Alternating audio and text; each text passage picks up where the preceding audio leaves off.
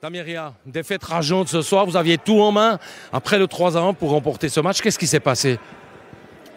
Euh, Je sais pas, je j'arrive pas à réfléchir là, mais euh, voilà, on leur donne, j'ai l'impression qu'on qu'on n'apprend pas de nos erreurs. Euh, on leur donne trop de, contre-attaques, trop de. Ils partent tout seuls deux fois, ils marquent deux fois. C'est sûr que c'est compliqué de gagner des matchs comme ça.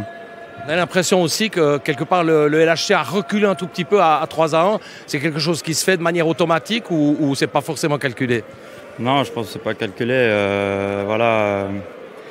Comme je l'ai dit, euh, on a fait des erreurs qui font que bah, droit derrière ça se paye cash et puis ils ont eu peu de peu de, euh, ils ont eu besoin de peu de, pour, euh, pour marquer, euh, donc c'est ça qui a fait la différence ce soir. Il faut construire sur la victoire contre Fribourg et surtout sur le, premier tiers aujourd'hui, voire les 30 premières minutes, où vous avez été dominant, vous avez, été, vous avez vraiment joué en équipe avec beaucoup d'énergie. Oui, totalement.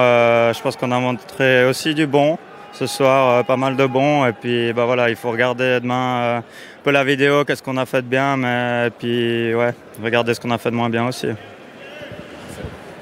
Merci Damien.